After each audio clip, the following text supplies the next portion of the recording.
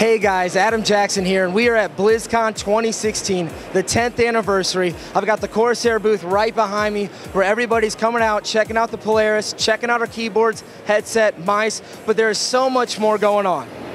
First, I want to tell you about all of the products we have scattered all over the floor. Over 1,500 sets of our mice, headset, keyboards, and mouse pads are here for BlizzCon attendees to check out. We also have a photo booth where you can come in and make your own custom Overwatch play the game. We've had a lot of cosplayers and fans come check it out. It's been really exciting and a lot of fun. And lastly, huge congratulations to Team Splyce as they just won for the second year in a row the World of Warcraft Arena Grand Finals.